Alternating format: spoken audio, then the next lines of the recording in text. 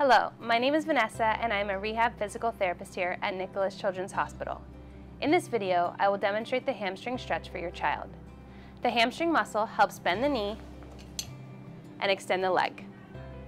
They hold your child upright when standing and walking.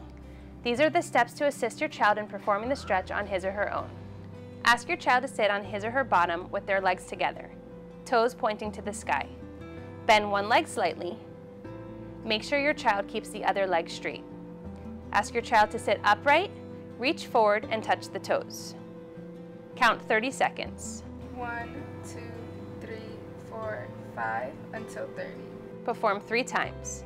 Now return to the start position, then ask your child to perform the stretch on the other leg. One, two, three, four, five, until 30. Your child must perform the stretch two to three times a day. Some helpful hints. Your child will feel a pull on the back of the leg and behind the knee.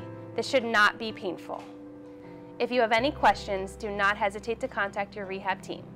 We hope you found the video helpful.